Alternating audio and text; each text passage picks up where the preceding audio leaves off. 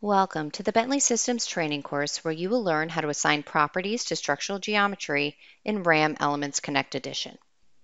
RAM Elements is a finite element-based general analysis program with an integrated design toolkit.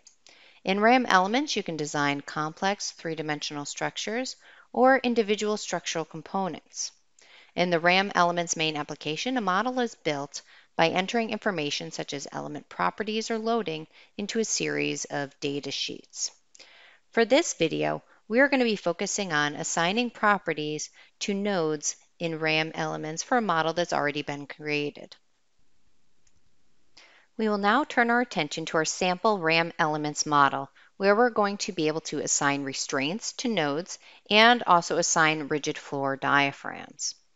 Whenever you're assigning properties to nodes, you're going to go to your data panel and go to your nodes tab and then select any of the icons below that to assign your properties or to create nodes.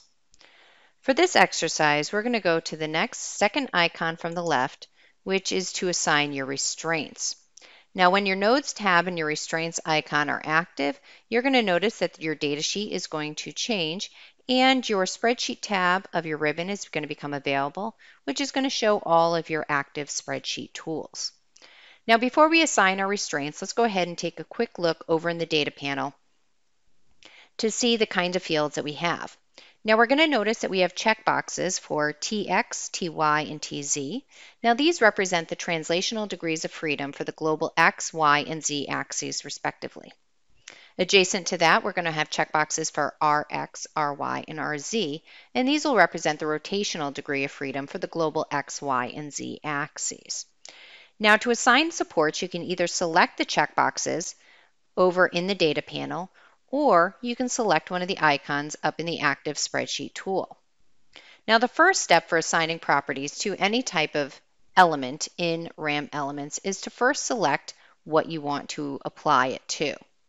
So what we're going to do is we're going to rotate our screen, which we can do in the active window just by using our right mouse button to kind of rotate the view to make it a little easier. Now to unselect all currently selected elements, you can click anywhere in your main display. And then you're going to draw a fence around the nodes you want to assign supports to.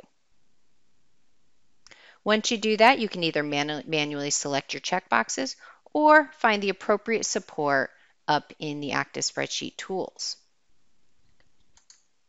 Now for this particular model, we're going to go ahead and assign a fixed support for all.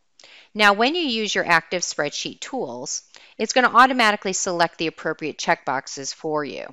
So here we'll go and we'll select the fixed support, and you're going to see that the T, X, T, Y, T, Z, along with the rotational degrees of freedom, have all been fixed for the selected nodes.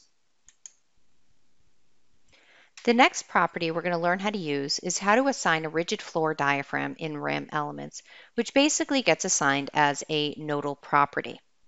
Over in your data panel, you're again going to stick with your Nodes tab, and then you're going to select your next icon from the left, which is your rigid floor diaphragm number option. Now you're going to notice when the Nodes tab and the rigid floor diaphragm icon are active, your active spreadsheet tools are going to reveal two icons that are available. The first one will assign a rigid diaphragm to your selected nodes, and this will assign a consecutive floor number to the selected group of nodes. The next icon is going to assign a rigid diaphragm to selected nodes based on their y coordinate. This is a way to assign a rigid floor diaphragm to multiple levels, all in one step.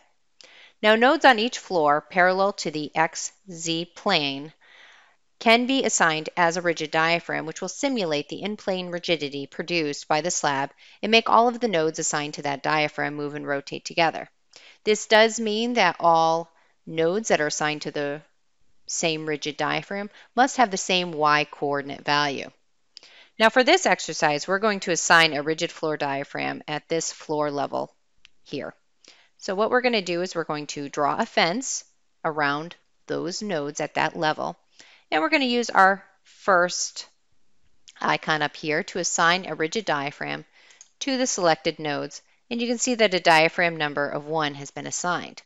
Now, by default, every node in your model, when it's created, is going to be given a diaphragm number of zero, which basically means it's not assigned to a rigid diaphragm yet. For it to be assigned to a rigid diaphragm, you must assign it to a non-zero number over in the data panel.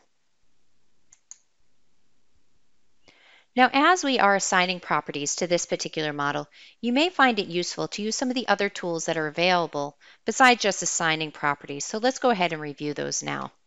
The first tools that you're going to have to realize how to use is how to select your members in RAM Elements.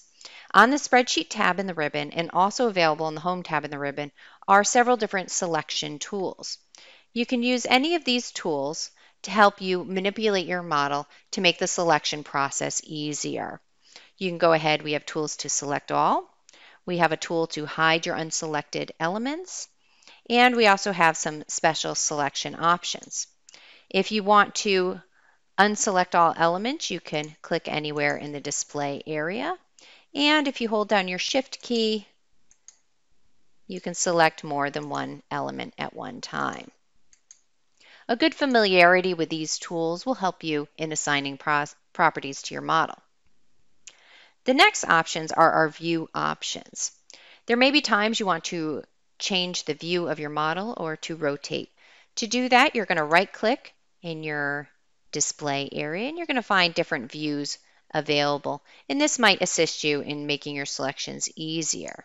You can again also just use your right mouse button to kind of rotate the model to kind of get things a little easier for you to be able to grab the elements that you want to assign properties to. The last area that we're going to take a look at is this View tab up in your ribbon. Now this is a way to turn on different properties that you want to be able to display at one time. So you can see right now I've already assigned properties to my nodes for my rigid floor diaphragm and also my supports.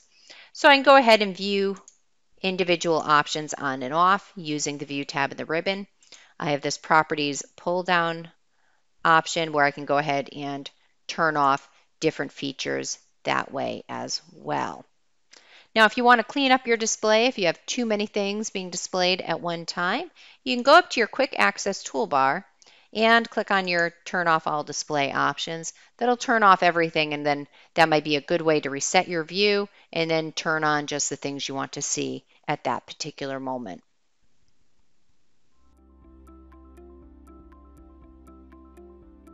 If you found this video helpful, please give it a like. If you want to see more such series, consider subscribing to our channel. Thank you and see you next time.